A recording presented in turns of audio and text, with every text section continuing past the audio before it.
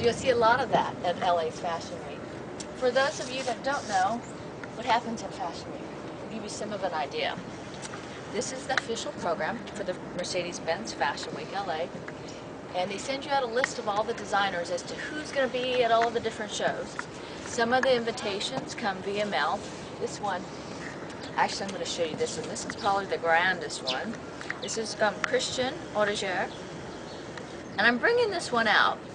Christian is not there at Fashion Week this year, unfortunately, because he wanted an evening showing spot, which of course works better but also it kind of shows the way of what's happening at Fashion Week. Because a lot of the old, if you want to call it staples, Sue Wong, Kevan Hall, Christian Audigier, are not going to be at Fashion Week. It's going to be more of a celebrity fashion show. But I'll give you some more of that. that. Those are probably the nicer ones. Some of the invitations come via email. Some you just get mailed, right? Oh, okay and then you RSVP for the invite, and then you wait, and you wait, and you check your email box to find out if you sent in an RSVP.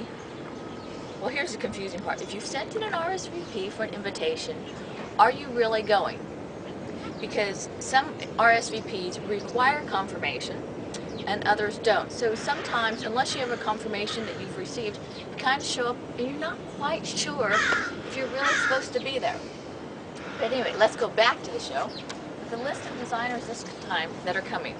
I'm wearing this t-shirt. This is from, well this one's designed by Miley Cyrus, Spread the Love, and it's one of the new um, celebrity tee collections. It's not being shown at Fashion Week, but it's kind of representative of what you're going to be seeing there.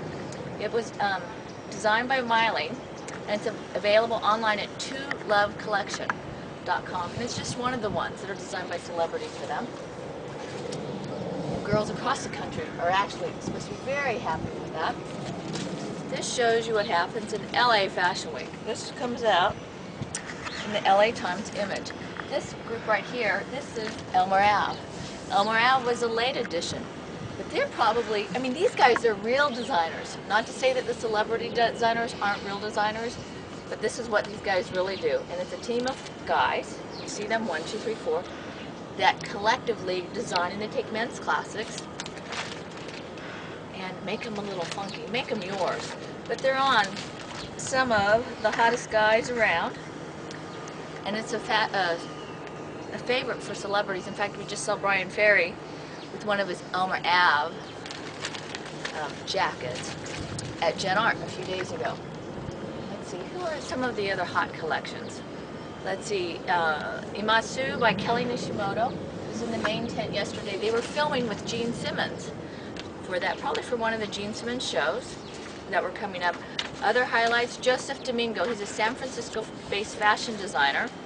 He considers himself an atelier specializing in custom-made clothing for men and women. He's been featured in sportswear, um, CNN, Women's Wear Daily, and all over the place. Now here's the funny part is I used to think that LA Fashion Week was all LA fashion designers, but it's not. We've got people from, well he's from San Francisco, they have people from all over the place. We also have Jenna Jameson that's coming for, for PETA. Can you believe that? PETA, and Jenna Jameson. And she's there because, well, she's in a pleather bikini. And for those of you that don't know, pleather is, um, like, it looks like plastic leather kind of looks like leather, but it's not. I think it stretches a little bit. You can get that. It's called Naugahyde. Oh, is that what it is?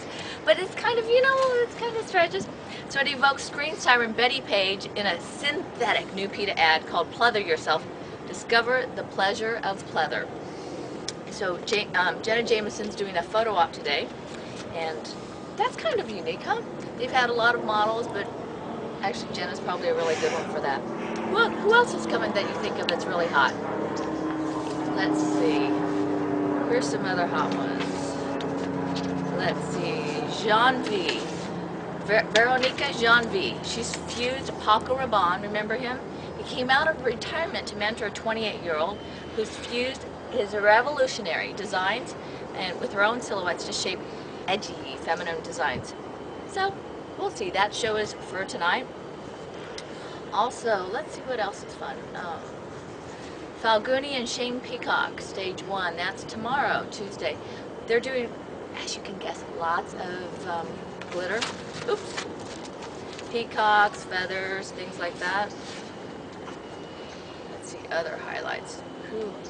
Oh, the Green Initiative Humanitarian Fashion Show. Of course, you have to have one of those because green, of course, is the new black. They have an Austin eco-friendly designer, Renee Geneva, who's showing her new clothing line. The line is known as SOCA, an acronym for Sustainable Organic Contemporary Apparel, and it's inspired by Japanese historical architecture. And that's probably one of the more interesting ones that you would see. Let's see. What, else do you think is a highlight of, of Fashion Week? Pussycat Dolls at the end of the week? Oh, most definitely. You know, everybody's got to come out with a line, especially if you're a celebrity. Pussycat Dolls, I think, wait a minute. Okay, a lot of lacy under things. And I don't know, maybe you'll see that on an upcoming episode with the Pussycat Dolls. But that closes Fashion Week on Thursday, March 13th. Ashley Paige, of course, is also doing her swimsuits.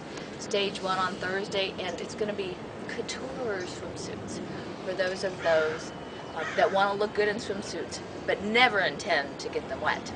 But that's perfect because it is springtime now, and we're doing the fall and winter collection, as you're always, well, a season ahead at least. So welcome to Mercedes-Benz Fashion Week in Los Angeles.